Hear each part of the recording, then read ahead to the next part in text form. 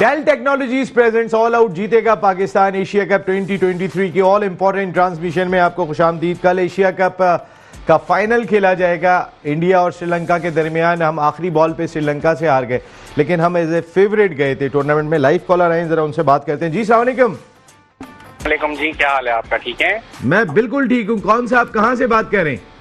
मैं कामरान बात कर रहा हूँ जी कामरान सिद्दीकी इस्लामाबाद से।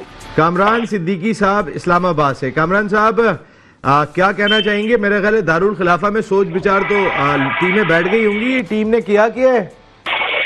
बिल्कुल जी हर जगह हर ऑफ़िस हर दुकान इवन के अगर बाल कटाने जाएँ तो वहाँ पे भी यही बातें हो रही हैं कि क्या किया है इन्होंने। और वो डेफिनेटली कुछ चीज़ें हैं जो कि बड़ी क्लियर हैं कि कुछ चीज़ें इनकी ठीक ही नहीं थी इनकी प्रॉपर प्लानिंग ही नहीं थी इनकी अब एक जो क्रिकेट नहीं खेल रहा उसको इस चीज़ का आइडिया हो सकता है तो जो खेल रहे हैं उनको आइडिया नहीं है बस ये हैरानगी होती है जी बहुत। क्या क्या फॉल्ट लगे और किसको बेहतर करना चाहिए? कौन से आ, कौन से खिलाड़ियों को बदलना चाहिए? आप समझते हैं। आवाम जी। जी हम बिल्कुल बहुत हमारे फेवरेट होते थे फखर जमान लेकिन आपके सामने है उनकी जब फॉर्म नहीं लग रही तो डेफिनेटली उनको चेंज करना चाहिए। फहीम अशरफ को लेके गए हैं सबको पता है कि उनकी कोई इतनी परफॉर्मेंस ना बैटिंग में है ना बॉलिंग में है फिर भी भाई तो तारीफें करते हैं। अच्छा नहीं अनवर भाई जी अच्छा ये मैं आपको खाली अपनी बात नहीं बता रहा मैं भी जिस गैदरिंग में बैठता हूँ जहाँ ये सारी बात होती है।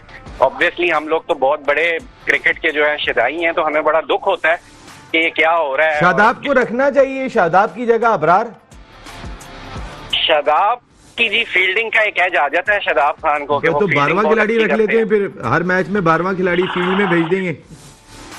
सर वैसे परफॉर्मेंस तो शदाब की बिल्कुल अच्छी नहीं है। उनको वाइस कैप्टन की वजह से उन्होंने रखा हुआ है। लेकिन अगर उनसे अच्छा कोई स्पिनर इब्रार या उसामा मीर हो तो बिल्कुल चांस देना चाहिए। कामरान भाई थैंक यू वेरी मच बहुत बहुत शुक्रिया आपका। आप